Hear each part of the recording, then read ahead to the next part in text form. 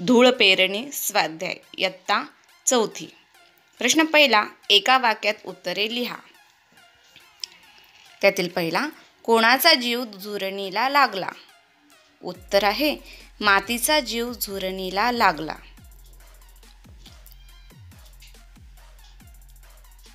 त्यातील दोन धरणीला कशाचा ध्यास आहे? उत्तर हिरव्या पिसांचा ध्यास धरणीला आहे. तीन कोणते दिवस येऊ नयेत असे कवीला वाटते? उत्तर जाचक दिवस येऊ नयेत असे कवीला वाटते.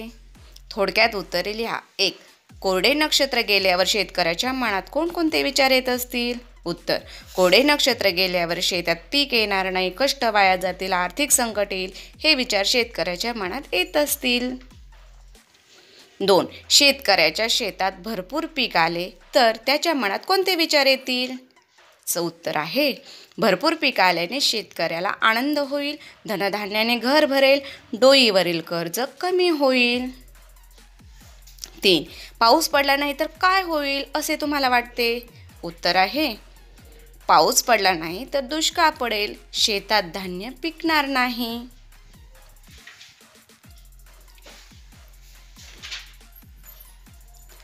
प्रश्न तिसरा ओळी पूर्ण करा. त्यातील असो बरकत धूळ पेरणीला. टिंबटिंबाच्या जागा असो पेरणीला. आ. टिपूर मोत्यांची आसमोरणीला ई. कासावीस डोळे बनले चातक ई. मिळता डोळ्यांना मेघुट इशारे. प्रश्न चौथा खालील ओळींचा अर्थ तुमच्या शब्दात लिहा अ हिरव्या पिसांना साध्या सधरणीला उत्तर आहे.